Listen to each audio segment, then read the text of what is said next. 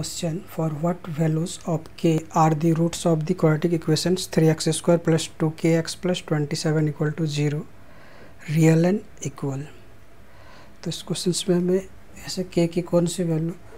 लेंगे कि ये रियल और इक्वल हो जाएगा तो हमें इसमें k की वैल्यू फाइंड करनी है और जो क्वाड्रेटिक इक्वेशंस है वो है three x square plus two k x plus twenty seven equal to zero. इसको अगर हम स्टैंडर्ड क्वाड्रेटिक इक्वेशन के साथ अगर कंपेयर करेंगे तो इसके according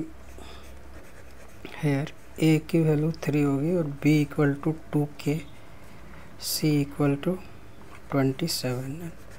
according to the question it has real and equal roots, so d equal to 0 so b square minus 4ac equal to 0 और अब हम ए बी सी के वैल्यूज़ को इसमें पुट करेंगे तो ये आएगा two k whole square minus four into three into twenty seven equal to zero so